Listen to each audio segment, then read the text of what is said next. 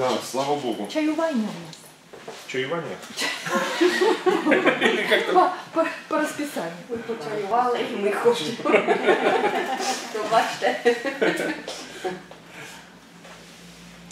Так.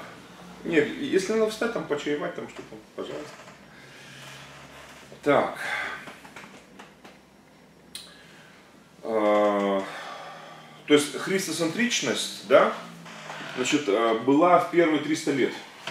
Во время гонений а, ереси не развивались, слава Богу. То есть вот как бы, ну, что, что было, то было все-таки. Слава Богу, что вот первых 300 лет, на самом деле, а, вот касательно экклезиологии, понимание церкви как тела Христова было. И даже церковь противопоставлялась государству. Ну, ну, это неизбежно, потому что государство ну, было гонителями. Они как бы не жаловали.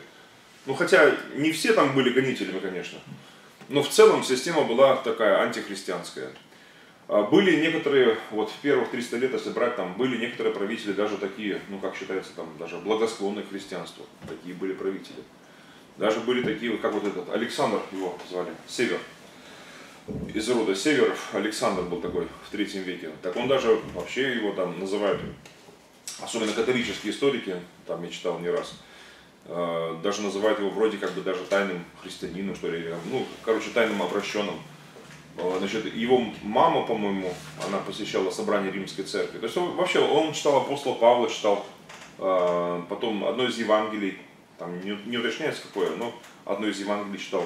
И даже он, значит, это э, какую-то там цитату из Писаний там у себя во дворце э, приказал убить. Ну, он такой философ больше был, э, мыслитель, э, не полководец и такой э, мирный человек. Вот. Но он недолго правил, э, дворцовый переворот, и как бы и христиан опять стали гнать после него.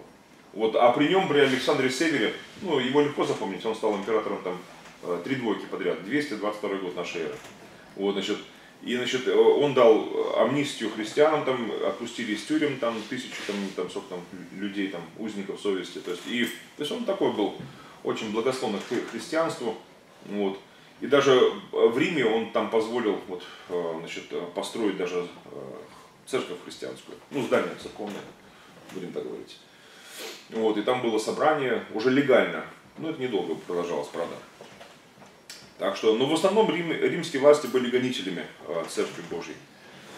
Так, и еще, о, вот здесь очень интересная такая, такая заметочка у меня. А, ага. А, По истории вот, э, христианства вам рассказывали про такого э, апологета Тертулиан, А, Квинт э, Тертулиан. Бо- Бог очеловечился, да? Или это А, сказал, что не, ну, мы обожились? А Бо- да, и о Троице, он, он многие термины богословские, он как бы так вот, как бы их придумал, Красиво что ли. Вот. Говорили. Да, мы говорили, да? Вот. Но касательно экклезиологии, вот его изречение «Экклезия спириту санкти» это «Церковь Духа Святого». И у него интересно очень такая вот, касательно вот этой э, экклезиологии, понимание церкви пневматиков и церкви психиков, вот я себе записал. Интересно так. А Для него э, э, церковь, э, э, ну, церковь пневматиков это э, Духовных. духовная, да, церковь. Вот, значит, а есть церковь психиков, ну, церковь, значит, душевная. И вот он развивает такую теорию, такую интересную. Вот а, по его, значит, а, по поводу экклезиологии, вот, как раз один из, ну, или даже, наверное, наверное, даже первый, я думаю, что кто вообще за- задумался над а, а, учением о церкви как о науке. А, Значит, что а, две ветви вот эти вот а, в христианстве он прос- прослеживает и, значит, и говорит, что, значит, что церковь пневматиков это истинная церковь. А, а, Церковь духовная, духовных людей, да, вот истинная церковь. А душевных это а, церковь такая неистинная, ложная, которая не имеет будущего. Вот, и, значит, там, так что запомните, Тертулиан, он и касательно экклезиологии тоже а, первый проходец, не только там а, в других а, науках, не только доктрина Троицы, там, а, он, да, он, он первым, кстати, да, на самом деле, многие термины такие высказал. Я не думаю, что он был автором всех этих терминов, но, наверное, многих из них. Записал постановление. Записал, да, и, э, и не только записал, я думаю, все-таки. Он использовал еще, знаете что, как вот апологеты другие, там тоже, Ориген, допустим, там тот же самый. А, брались вот эти вот э, языческие какие-то термины, э, какие в то время уже в других религиях существовали, да? Просто он как бы христиански это все подавал, как бы, а христианизировал, как бы. Вот так вот. Так что запомните о пневматиках и психиках. Да, Тертулиан тоже оказывается вот так вот. Да. Так, и, значит, суть конфликта. Вот, вот интересно тоже. Записал я у Тертулиана, значит. Он э, говорит, что пневматики это, да, христиане, в его понимании это христиане, ревнующие о силе Духа Святого и жизни в сверхъестественном Боге. Вот так, ну как, в сверхъестественном. То есть он считал, что, да, вот, вот в чем истинность, да, духовной церкви ревнующие, ну, так написано же в Библии, да, ревнуйте о дарах духовных, о сверхъестественной э, жизни. А, а вот по поводу психиков, он написал интересно такое, то есть это попытка уже была такая, как бы, э, структуризироваться э, церкви. Это, по его мнению, христиане, сводящие церковь к религиозной системе, клерикализм, ну, как бы это уже, уже потом уже названо клерикализмом. Э, выражаемые там, где епископ, там и церковь. Э, но это выражение уже э, было на Востоке, по-моему, популярно. То есть было такое выражение, вот я помните говорил, да, еще там первый или второй день, не помню, значит, что вот такое высказывание, где епископ, там и церковь. Оно как бы и правильное выражение, но и неправильное. Вот как бы оно вот. Но для вот э, Тертулиана, это было знамением вот а, такого раскола в христианстве как бы на вот а, пневматиков и психиков. Кстати, а Тертулиан же, он же даже это, насколько я помню, он э, вообще, э, ну, от такого традиционного тогдашнего даже христианства, там, как бы ортодоксального, будем так говорить, от, отходил. Вот. Э, ну, монтанизм, да, вот, значит, э, монтанизм того времени. Вам рассказывали о монтанизме, нет? А такое движение было, как бы вот наподобие харизматиков. Харизматиков. Вот, значит, э, монтанизм, э, движение еще там, вот тех времен, времен еще второе, третье столетие. Там был такой из Фригии некто Монтан, который там, значит, э, в общем-то, покаялся. Жрецкий белый, по-моему, Матери Божьей, там, Царицы Небесной, этой, значит, языческой. И он стал христианином и очень таким харизматичным проповедником, вот, ревнующим о дарах духовных. И вот как бы он заявлял, что церковь, она вот, э, ну, короче, церковь сплошные психи, душевные, нам надо духовное, надо, значит, э, вот, и, значит, и Тертулян примкнул как бы вот к этому течению. То есть были такие тоже вот э, интересные движения. А я так понимаю, что вот из того немногого, что вот я вот как бы там вот вижу в истории того времени, что и в то время христиане были разные, церкви понимания были разные, Э, доктрины тоже какие-то. Но в условиях гонения, наверное, это просто, ну не так это было заметно, наверное. Э, это особенно не выходило, наверное, как говорится, из избы. Так. Суть конфликта. Понятно, да? Насчет, что пневматик это ревнующий от Духа Святого. Мне это нравится, я пневматик, я за них. В сверхъестественном Боге жизнь, да, это классно.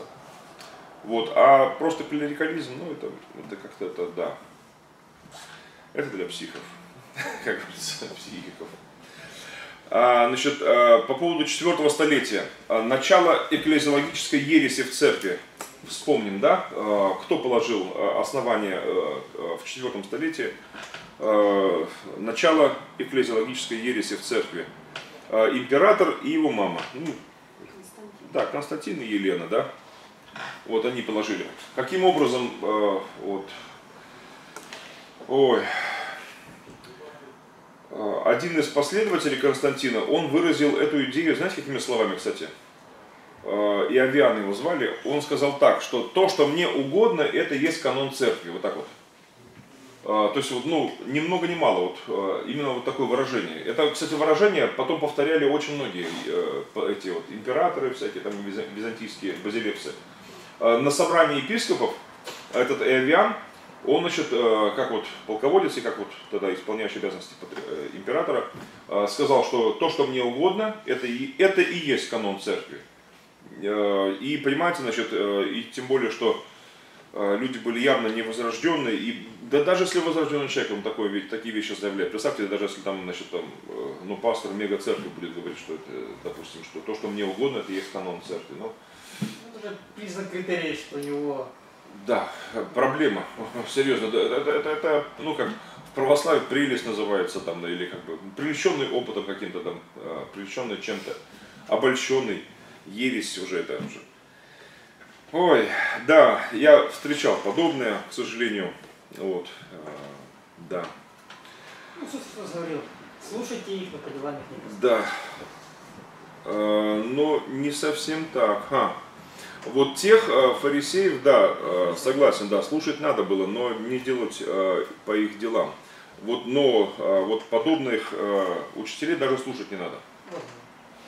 Вот, даже слушать не надо. Потому, потому что Значит, фарисеи хотя бы они учили это правильно. То есть Иисус их упрекал в лицемерии. В лицемерии. То есть он не говорил, что у них учение неправильно. Он, он обличал их именно в том, что они учат, сами не делают. Вот, и, и еще плюс еще к тому, что значит, э, акцентируют, акценты неправильно расставлены, э, на второстепенном, а первостепенно не уделяют внимания, вот, и, которое ну, выпадает просто-напросто получается. Вот. Да, цезарепапизм, что это такое? Вспоминаем, тоже как раз по поводу как раз э, экклезиологии, это сыграло роковую роль вообще в истории. Это, э, ну, вообще цезарь-папизм из двух слов состоящий, да, Цезарь и папас. Э, Цезарь, ну, это властитель, да, значит, э, император, там, царь, царь Бог. Вот, а папас это, значит, э, э, духовная власть. Получается, светская власть и духовная власть. Вот как бы вот э, Цезарь и папизм. Вот. Есть другое э, сочетание. Папа, цесаризм. А, но и то, и другое, оно как бы, ну, это, все, что в эти, в эти крайности попадает, оно, это все как бы, ну, уже ересь или близко к ереси. А цезарь-папизм, что такое? Это система, э, вспоминаем тоже, да, взаимоотношений церкви и государства. Система взаимоотношений церкви и государства, когда церковь становится послушным орудием в руках сильных мира сего. А, уже не Иисус, а Мамона, Господь в этой системе. Хотя на словах, может быть, конечно, и, и в любом христианстве там Иисус Господь, но на практике вот, э, Мамона там уже правит уже. Это Цезарь Папизм называется система. Вот, и, э, э, к примеру, э, ну, в православии на очень вульгарной форме существует эта система. Вот, она плоть и кровь вот, восточного православия, к сожалению. Вот. А, в католицизме так постольку поскольку, в протестантизме, слава богу, в очень малой степени, хотя в некоторых странах очень серьезная проблема. Допустим, вот в Европе, я был, значит, вот в, этом, в Германии, допустим, там есть э, фрай Евангелиша Германии, вот эти вот свободные такие евангелические церкви. А есть э, вот такие, которые, вот эти вот, как церкви земель, как называются они? Церкви зем, земли. А, церковь земли или земельная церковь забыл, как по-немецки звучит. Ну, короче, вот там же есть земли, да, и в каждой земле, ну, как области. И в каждой области есть своя э, земельная церковь, как бы. То есть подчиняющаяся бургомастеру, подчиняющаяся э, значит, э, управлению этой земли. И священники там, они, как вот госслужащие, да, вот они на зарплате, значит, там очень у них обеспечение, там все материально хорошее, но э, люди, как правило, невозрожденные, вот из того, что я как бы наблюдал и узнал. Значит, и э, плюс еще э, они делают все то, что э, верят им от, от власти. Допустим, там венчание, там, допустим, к примеру, там, значит, там, тех же гомосоциалистов, там, допустим, чего-то еще. Вот, а там священник, даже если он, например, и верующий человек, но если он, значит, в этой системе, он обязан, значит, ну, будем так говорить, все исполнять, что ему говорят сверху начальники. То есть церковь под государством. Это, кстати, церковь земель, э, подчиненная управлению земель германских, Это еще э, Гитлера, э, детище-то. Вот как бы, значит, и Третьего Рейха. Э, Третьего Рейха давно уже нету, а вот сама вот эта вот система безбожная, она сохраняется до сих пор. Вот, значит, э, и это касается не всех протестантов, это касается вот, ну, некоторой части протестантской церкви. Э, При э, Гитлере э, в 30-е годы еще в Германии, там э, сколько, две трети всех протестантских пастырей присягли, э, приняли присягу фюреру, э, как именно лидеру нации, вот, и приняли, соответственно, национал-социализм как христианскую якобы идеологию, соглашаясь делить по, по законам Рейха, соглашаясь делить свою паству на христиан-арийцев и христиан-неарийцев. Для, э, даже причастие проводилось различно, нельзя было по законам э, вот, Рейха, э, значит, пастырям, протестантским, лютеранским, евангелическим, там, другим, совершать причастие вместе арийцев и неарийцев. То есть, значит, социальный дарвинизм, он вошел как закон уже, государственный закон, значит, и, в общем-то, но треть пастырей, треть пастырей Германии протестантских, они отказались значит, э, вот э, от этого, их называли церковью исповедников там, или церковью мучеников. Э, Там тысячи пастырей были репрессированы, э, многие погибли в концлагерях. Значит, э, вот э, когда вот историю 20-го столетия рассматриваем, там много очень героев веры было. Вот Дитрих Бенхофер, Мартин Немеллер, это все вот как раз лидеры вот такого сопротивления, которое э, идеологического сопротивления этому рейху. То есть они э, без оружия, но они вот именно с Христом, именно вот на основании Писания вот, э, разоблачали э, вот эти безбожные законы, значит, и разоблачали идеологию национал-социализма заявляя, что нет никакого ни арийства Библии, ни второго сорта человеков нету, что от одной крови Бог произвел весь род человеческий. Но, к сожалению, вот, вот эти две трети отпадших вот, как бы, в фашистскую идеологию, то, значит, э, протестантские пастыри, там, значит, был такой, э, как его там звали, Людвиг Мюллер, э, был такой, значит, епископ евангелический лютеранский, он возглавил эту систему, структуру, и он заявлял, что вот есть в Библии много и вот таких ошибочных учений, вот, которые вот записаны были, вот что туда-сюда. То есть, одним словом, вот, нашлись такие.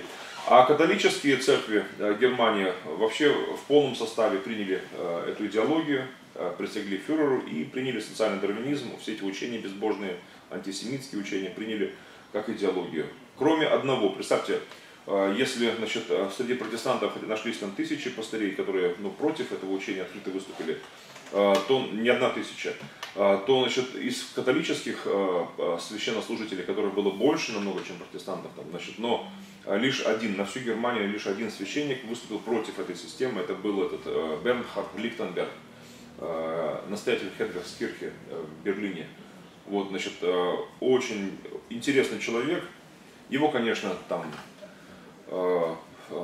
и преследовали, и потом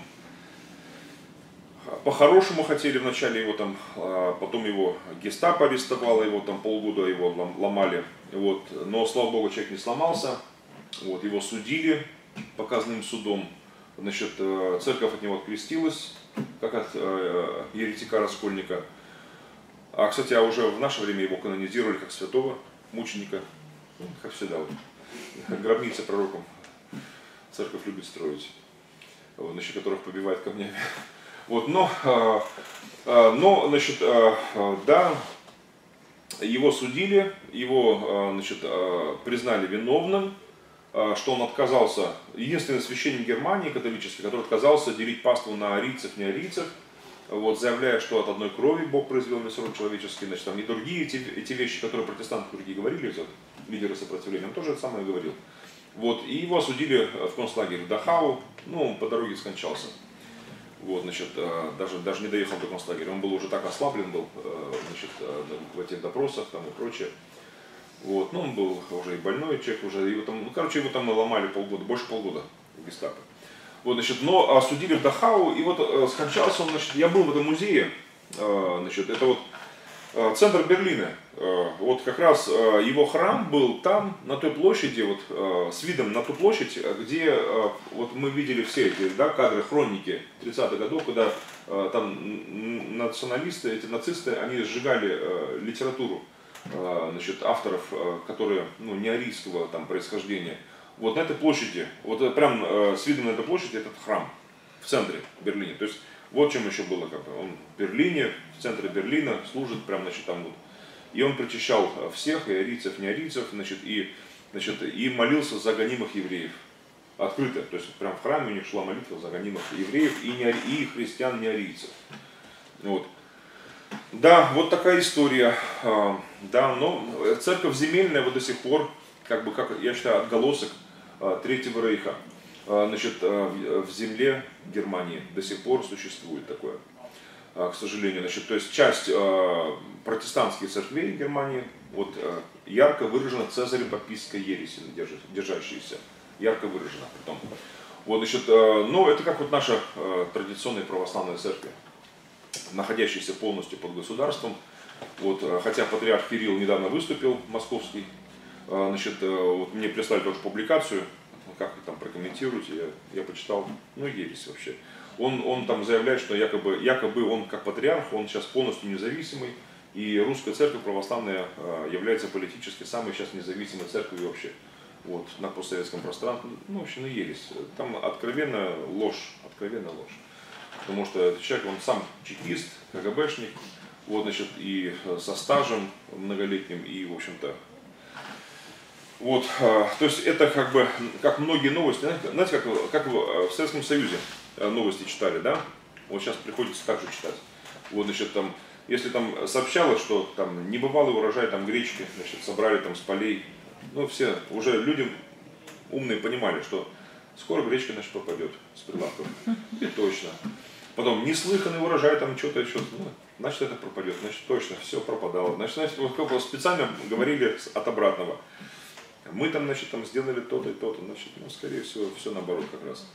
Вот многие новости такие советские надо было так фильтровать. Сейчас пришли к такому же, получается, к такой же ереси. Да, значит, а, так, и цезарепапизм, когда уже Мамона Господь, а не Иисус а, в этой системе. А, в каком веке, а, кто помнит, а, значит, у меня есть тоже ошибка, кстати, неправильно записано у меня. Значит, а в каком веке а, и кто из императоров, помните, император и императрица, которые вот тоже я о них рассказывал.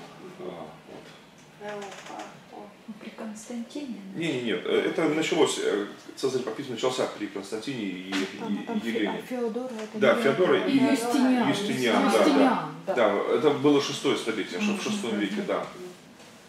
В шестом веке. Вот. Цезарепапизм был э, именно как экклезиологическая ересь узаконена. То есть, да, было заявлено, что да, император, глава церкви, что, э, ну, понимаете ли, это для христианства, это в шестом веке это был просто как удар такой был, да, мощный по церкви э, идеологический. Но, а вообще в языческих религиях это было популярно. Вот при римских императорах вот э, еще с Кесаря Августа, э, императоры римские, они были и не только лидерами своих стран, да, своей страны, да, империи, но они были и религиозными, там, жрецами, допустим, там, да, вот, то есть и светская власть, и э, религиозная власть обычно была в одних руках, ну, чтобы не было там двоевластия, там, не было раскола какого-то, может быть. Вот, э, вот тот же самый Константин, Э, да, значит, Константин Император, который в IV веке там, э, есть такая, э, ну как бы, дезинформация, может вы слышали это уже, что якобы он принял христианство, вот, Константин Император Великий. Вот, на самом деле он не принимал христианство, если исторически, если в учебниках пишется, не принимал, даже перед смертью не принимал, на самом деле.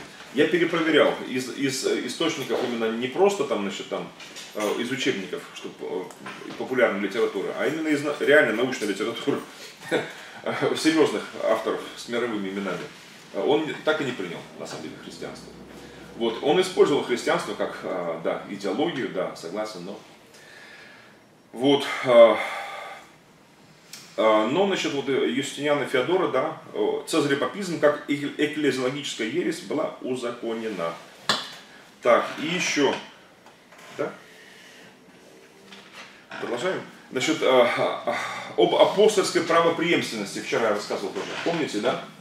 Вот одно из самых таких серьезных экклезиологических заблуждений, э, исковерговавших само понимание церкви, того, что есть церковь Божья. Помните, название такое, об апостольской правопреемственности. И почему, вот э, вспоминаем, почему вот мы э, не признаем, как евангельские мыслящие, библейские верующие христиане, независимо от нашей церкви, там, мы не можем признать это христианским учением а признаем это, я лично признаю это анти, антихристовым учением, духом антихриста. А, одно из проявлений духа антихриста вообще в церкви. Вот, а, почему?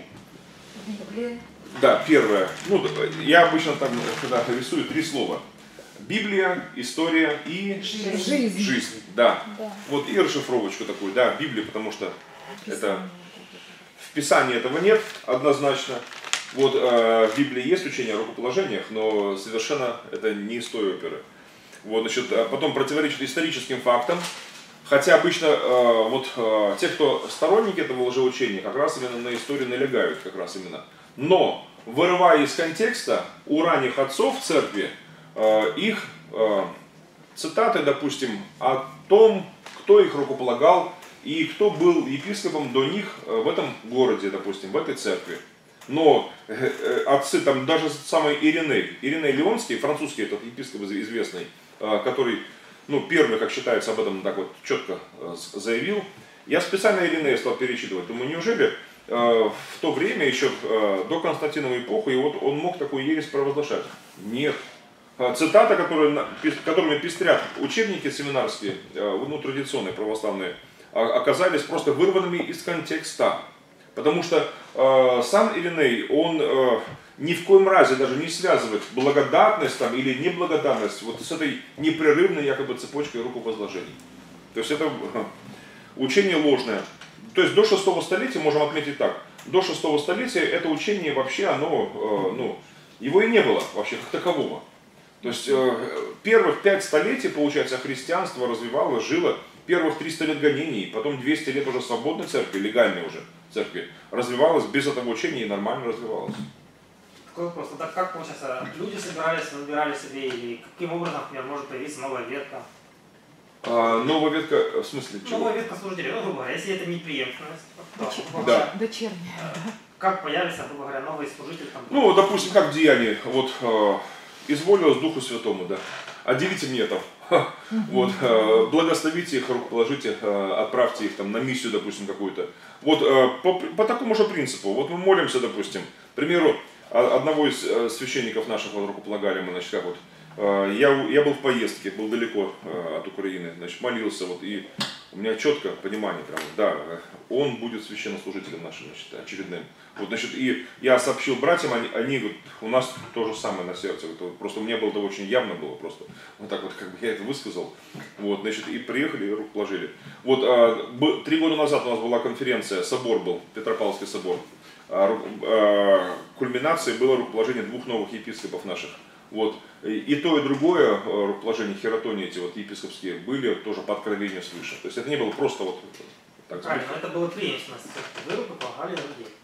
А вот э, если брать, что преемственность недействительна, то, потому что, то как, человек сам себя не может руку положить, потому что кто-то его Кто-то из служителей, кто-то из служителей, община сама. Вот, допустим, вот здесь вот в Киеве, э, в соборе, в этом э, Софийском соборе, 20 какой-то год, там не помню, 21 что ли год был, э, время такой как раз этой войны, Значит, э, и э, здесь, в Киеве, э, как они рукополагали, никого из епископов не было вообще, они взяли и присутствовали Э, писатели украинские, деятели культуры, э, значит, там, значит, там, э, ну, были некоторые священнослужители, правда, вот, значит, но меньшинство, в основном были обычные светские люди, обычные православные.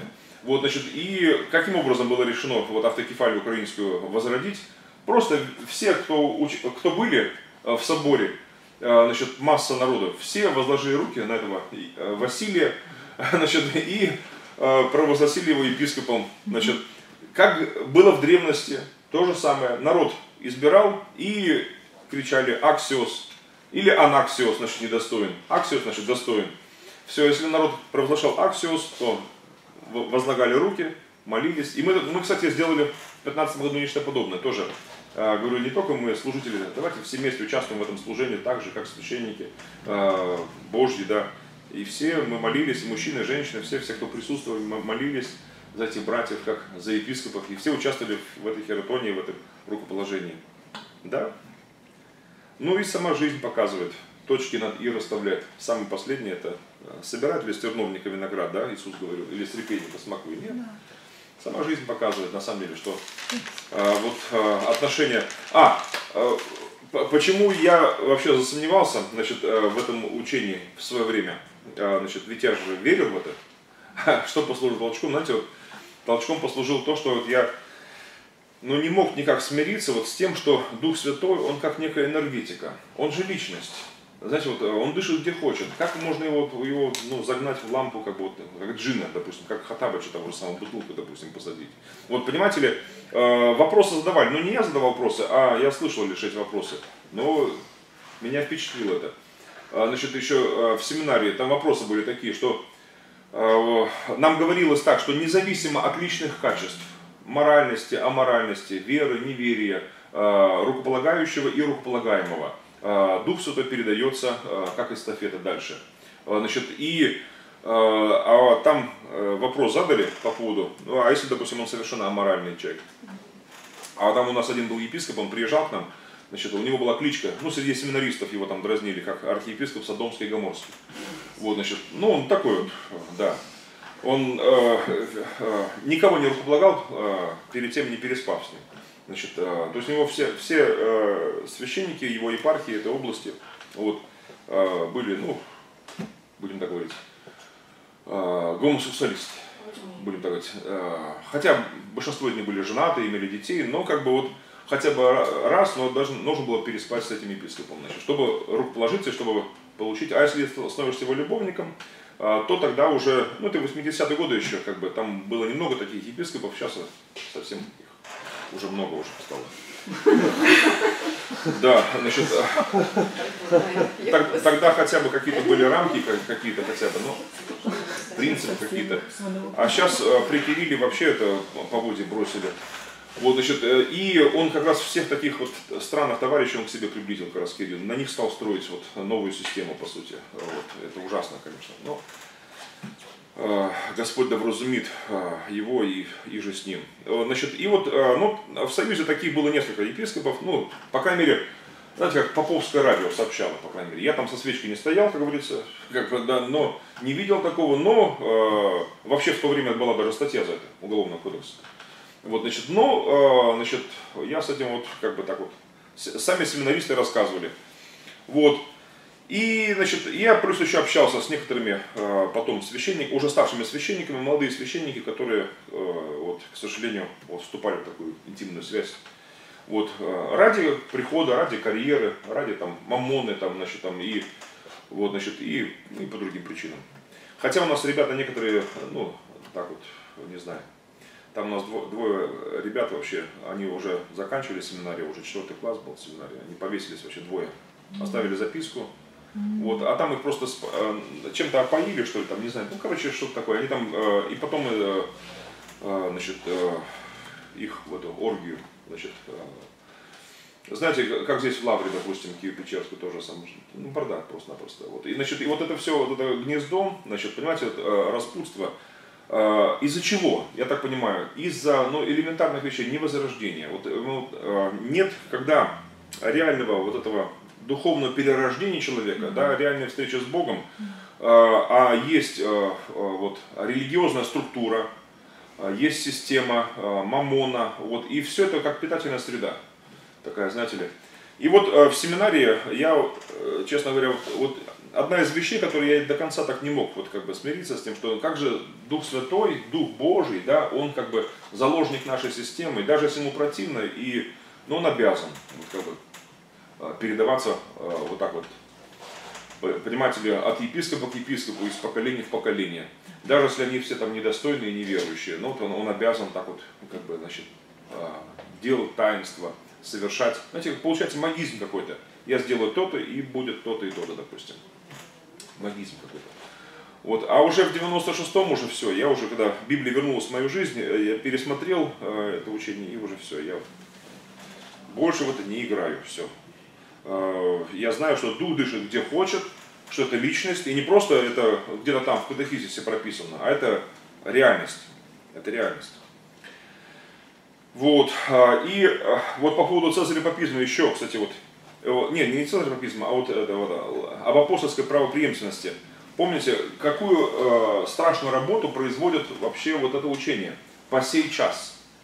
Вообще, и какую оно производило работу вообще вот э, тогда, когда учение это появилось? Вообще, для чего оно появилось? Как бы, помните, Юстиниан, зачем он ее? Отделить священников от всех остальных. Э, да, это тоже. Но... Спасение только голубой крови, как вы говорили. Да. Почини государства. Да. И э, вот и еще запомните такую вещь, э, что значит, что э, э, христиане до 6 столетия, до Юстиниана, э, были государственные церкви, да, и были негосударственные христиане. И, а ему захотелось, понимаете ли, сделать единообразную систему э, только лишь государственных христиан. Э, то есть католических, православных христиан. А все, кто вне этой системы, э, они объявлялись не христианами вообще. То есть христианин, э, да, э, но э, не являющийся частью этой системы государственного христианства, он объявлялся не христианином уже. Все. Он не имел права называться христианином, хотя он ну, верил в Иисуса Христа, все, значит, но он не часть этой системы был, не часть этой машины был. И по отношению к ним уже подверг... вот эти люди подвергались репрессиям, как не христиане. Вот.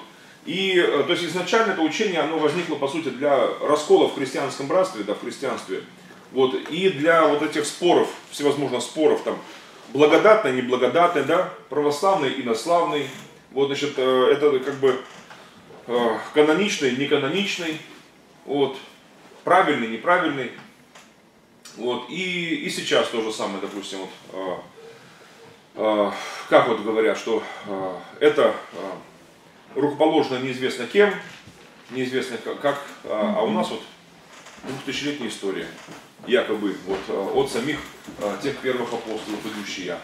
Вот такая система. Так что касательно понимания церкви, э, вот это лжеучение, оно такое, ну, опасное, очень опасное. Так, еще вот по поводу папы цесаризма, да, вот, значит, вот я говорил, что эти слова можно переставить, да, а, есть Цезарь папизм, да, когда а, Цезарь управляет а, церковью, а есть папа цесаризм. Ну, вот пример такой, римский католицизм, допустим, вот, особенно вот средних веков, вот того мира древнего, значит, папа цесаризм. Это когда церковные властители, да, церковная иерархия берет власть в руки свои, ну, как, допустим, хунта, например, военные, когда берут власть, в свои руки, да, в государстве каком-то. Вот это называется хунта. Значит, а здесь как бы, значит, такая э, религиозная хунта. Вот, значит, э, священнослужители берут власть э, в свои руки. Э, конечно, выглядит это, э, может, даже и привлекательно для э, многих, как бы, но очень опасная система на самом деле. Вообще, когда кесарю Кесарева, а Богу Божье, вот это правильная позиция все-таки, Христова позиция. А, когда это ну, не смешивается, когда не, не государство над церковью и не церковь над, над государством, а, когда действительно у нас понимание а, такого есть, что да, и сотрудничество, да, хорошо, да, как вот выражение симфония власти, ну, есть такое выражение хорошее, красивое, симфония власти, спелись, вот, сыгрались вместе. Вот, но когда одно над другим, это уже такое как извращение такое религиозное, политическое. Вот, и Иисус говорил беречься за закваски такой, да, вот э, фарисейской, садукейской и иродовой. Вот. А, и фарисейская, если э, закваска это э, ну, откровенно религиозное заблуждение, будем так говорить, или лицемерие, да, лицемерие, то значит, садукейская закваска, это как раз цезарепапизм, будем так, ну так, предтеча цезарепапизма. Потому что, значит, это получается подчиненность религиозному, ну тогдашнего иудаизма, допустим, да, подчиненность светским властям, подчиненность и не только оккупационным властям, но и своим там правителям, правителям подчиненность Мамоне. Вот как бы, значит, э, опасность. А Иродова, э, то откровенно политическая вообще закваска. Вот э, этих вещей лицемерных вот Господь учил остерегаться. Так, то, что Христ, глава церкви, кто у нас? Христос. Христос. Потому что цезарепапизм, по сути, ставит во главу императора. Помните, да, я приводил пример, самый такой вот как бы из вопиющий, э, э, из свода законов Российской империи до 17 года, который был, сто лет назад был только отменен. А, значит, э, там значилось, да, глава церкви, его императорское величество. Вот, и это, к сожалению, не только было в своде законов Российской империи, это было и во всех там документах того времени, вот тех столетий, синодального периода, так называемого, церковных документах, светских документах. Да, а, Христос глава церкви, он же спаситель тела. Кстати, вот из Слова Божьего, вот, из Слова Божьего а, по поводу того, что Христос глава церкви, а, Ефесянам 5.23, отметим, да, Ефесянам 5.23, и Колоссянам 1.18, тоже, что он есть глава церкви, тело церкви. То есть церковь сравнивается с телом, и это тело, тело Христа, и глава церкви это сам Иисус Христос. Ефесянам 5.23 и Колоссянам 1.18. Глава тела церкви. Вот, и э, представьте, э, страшное заболевание, если да, вот, э, тело не слушается головы. Вот, вот надо, как говорится, дружить с головой. Это инвалид, да? Как? Инвалид. Это инвалид, да. Духовный И вот по сути, вот церковь, не слушающаяся Христа, это действительно вот церковь инвалид. Исцеление у нас одно. Э, слушаться Христа, послушание Христу. О, спасибо тебе, Господь. Да, а библейски, э, вот папа цесаризм тот самый, допустим, да, почему он, э, вот, значит, как мы его опровергаем-то? Вот слова Иисуса Христа запишите, кстати, тоже вот, вот себе записал я. Значит, из, значит, Иоанна 18.36 что царство мое не от мира сего, да, царство мое не отсюда, он говорит. Э, значит, Иоанна 18.36 и Луки 20.25. Кесарево, вот это Кесарево, Божье, Богу, Луки 20.25. Да, на самом деле, потому что э, действительно, э, когда смешиваются вот эти царства, да, то это, ну, гремучая смесь. Рождается инквизиция, кстати, из этого всегда. Вот это, ну, примеров более чем достаточно вообще. Вот, э, я был в музее, помню, инквизиция, там, жуткая вещь. Когда тему это изучал, обычно, кстати, когда, обычно, когда говорят об инквизиции, обычно имеют в виду, ну, католическую церковь, да? Хотя это проблема не только католической церкви. А, просто об этом принято говорить, как бы. А вот о нашей православной инквизиции не принято говорить. Хотя исторически э, наша инквизиция православная была, во-первых, по времени больше, дольше, э, значит, больше столетий. А, во-вторых, по количеству жертв в разы больше. Даже, даже приблизительное а, сравнение а, инквизиции испанской, там, за, всей западноевропейской, ну не считая, правда, латиноамериканскую, когда времен конкисты. Если брать чисто европейскую инквизицию, то и сравнивая ее с православной церковной инквизицией Византии, Российской империи, значит, кстати, даже Киевской Руси, но она была в зачаточном состоянии, и слава богу, она не имела такого, не имела здесь популярности. Она имела популярность здесь э, буквально вот сразу после крещения Руси, ну, она, само крещение проводилось инквизиторски, вот так вот, э, добровольно-принудительно. Вот, значит, э, и какое-то время после того э, еще вот эти вот были такие э, потуги, такие инквизиторские, но э, не приживалось здесь. Но инквизиция прижилась вот как раз вот э, в землях северных, очень сильно прижилась. частично в Беларуси, но в очень малой степени. Вот, э, на территории Украины и Белоруссии э, инквизиция, она не переживалась как вот, ну, как бы постоянно действующий орган, как бы, как постоянно действующие вот процессы. А вот э, в, России, в России, территория России, прижилась, и не просто прижилась, а имела вот свое развитие дальнейшее. Вот, и даже, хотя слово инквизиция у нас мало употреблялось только при Петре Первом. Официально, ну, в документах церковных, только при Петре Первом э, официально именно э, в каждой епархии были назначены прото, протоинквизиторы и ин- инквизиторские трибуналы, официально они назывались. Но э, начиная с самого крещения Руси, именно, именно с 988 года э, существовали вот эти вот э, процессы и убийства. Вот э, та же самая Феодора, но не та вот э, Юстинианова, а другая еще Феодора, следующая там императрица э, э, Феодора в 9 веке, которая жила, в 9 веке. А, а, только по самым скромным подсчетам, в течение одного года свыше 100 тысяч казней. По ин- инквизиторским трибуналам. Свыше 100 тысяч казней. А, Для сравнения, я хочу, для чтобы вам, ну, как бы такие шокирующие сравнения. А, Значит, а, Испания за 500 лет 32 тысячи казней. Ну, там с копейкой, там почти 33 тысячи получается казней. За 500 лет инквизиции. А здесь за один год, ну, даже чуть меньше, получается, да, один год. 842 и до 11 марта 843 года официально, как бы, вот, значит, свыше 100 тысяч казней по инквизиторским э, трибуналам, по Слушай, не инквизиция, это же геноцид называется. это уже, да, это э, просто шла бойня народа. И вся вина была в том, этих людей, вот, которых вот Феодора казнила, Папа Римский ее отметил как э, лидера вообще э, вот именно вот христианского мира, вот, э, очень был восхищен ее методиками. То есть она почастую э, просто искореняла всех христиан, которые отказывались молиться, допустим, к Богородице, к святым, э, отказывались целовать иконы, кресты, мощи, там, значит, просто э, в э, в каждом храме по империи византийской восточной ставили иконы, кресты и в присутствии гос- государственных представителей власти и церковных служителей каждый житель империи был обязан на протяжении года прийти, зарегистрироваться, поклониться, поцеловать все это. Выдавалось ему удостоверение, что он был в этом поклонении.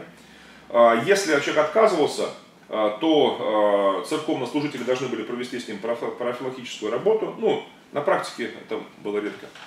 Обычно сразу придавали светским властям. Значит, в руки значит, и те казнили. То есть, ну, чисто инквизиторский сценарий, будем так говорить. Вот, значит, и чаще всего было сожжение, Реже, если имел человек заслуги какие-то перед государством, то утопление или удушение. Вот, значит, ну, бо- бо- чаще всего сожжение на костре было. Вот, свыше 100 тысяч казней в течение года. И Феодора до сих пор святая в восточном православии. Католики хотя бы, они, ну, хотя бы хоть немного здравомысленнее стали за последние вот эти столетия, за последние столетия. И вот всех своих инквизиторов они там э, поувольняли со святых, короче, значит, декан- деканонизация, короче, объявили. Деканонизация, что все это уже... Да. А, а у нас по-прежнему висят э, значит, такие святые, что порой, как говорится, хай бог вот, э, Там святых уноси.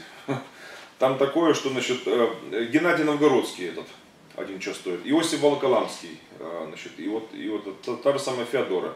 Кстати, Юстиниан с Феодорой, вот они вот, такая парочка, они что же святые? Ой, там, там такие святые, там, не знаю, ну, добрая сотня а, тех, кого хоть прямо сейчас вычеркивай, значит, и, и не вспоминай. Вот, знаете ли, значит, но им до сих пор ста- ставят свечки, молятся, праздники у них в календарях, там обозначены праздники их. Нужна, короче, реформация, короче, молитесь. По-человечески невозможно это, но с Богом все возможно. Так, Может просто повторить. Значит, э, фарисейская закваска понял, э, Иудева понял, а садукейская это когда политическое христианство. Христианство, Э, это цесарепапизм того времени. Потому что э, по- последователи Садока как раз именно, они как раз занимали ключевые посты религиозные за деньги, или же по э, вот как бы, ну опять-таки мамона, по решению властей. Короче, там, ну, люди простые не знали, эта информация так не распространялась сильно. Но, в принципе, ну как, ну, шило в мешке не утаишь. Все равно э, люди догадывались, что здесь не без римских властей все происходит. А, а сегодня мы это уже знаем доподлинно. Что все было по указке сверху, императорами, там все было этими э, проконсулами всякими этими. То есть и чаще всего решал вопрос просто, э, кого назначат там следующим первосвященником в храме Иерусалимском, или, или священником там, при, при жертвоприношениях, там, значит, там, или каким-то там ви- видным в иудаизме учителем, назначат, сколько он, какую сумму он принесет. Принесешь больше, тебя назначат. Меньше принесешь, ну, назначат тебя помощником каким-то там еще. То есть все коррупция разъедала. И поэтому, э, и, э, понимаете ли, в иудаизме того времени, э, почему э, сам Садок, э, как бы, этому не учил, понимаете ли. А Садукеи это э, э, уже явление такое, знаете ли, а- они назывались последователями Садока, э, но по сути это именно откровенно цезарепапийская ересь, короче. Э, Это то, что впоследствии, это как бы, э, э, вот, из чего выросло потом ка- католицизм тот же самый, допустим, да, вот. Я просто хотел уточнить, то есть это реально цесарь это не просто когда христиане идут в политику. Не-не, это... Не-не. Нет. А, нет, и вот если христиане идут в политику, как вот это было вот еще лет 15 назад, это, это тоже ересь, конечно. Вот, значит, потому что всех скопом айда. Значит, а, а, всякому делу нужно призвание, ко всякому делу.